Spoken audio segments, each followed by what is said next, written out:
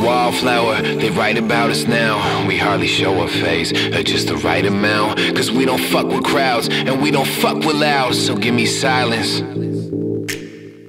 Yo, I fucking told them that I'm not a rapper. Cause most of the ones that say they are are just some sort of actors.